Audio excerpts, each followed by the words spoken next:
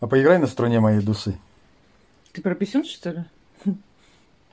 Вот ты знаешь, нет в тебе ни капли романтики, а?